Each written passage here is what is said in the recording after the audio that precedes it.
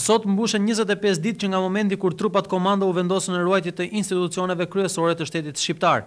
Ishte ky një shërbim special, i cili ende nuk dihet se kur do të mbarojë. Trupat e Zall-Herrit tashmë janë të vendosura pranë ndërtesave që ruajnë. Regjimi i tyre normal ka ndryshuar. Kryejnë shërbim vetëm tre orë dhe më pas ndërrohen. Kjo, sipas një komandanti, bëhet për të qenë sa më të freskët.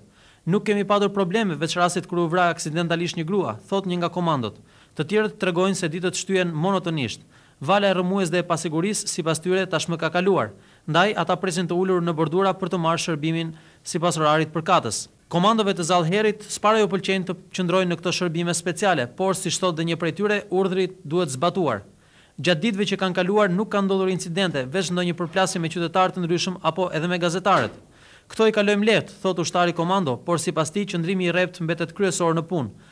Komandot e Zall-Herrit do të vazhdojnë të jenë buzë trotuareve me kallashnikovë në krah, të gatshëm për të qëlluar këdo që cënon ndërtesat pas shpinës së tyre.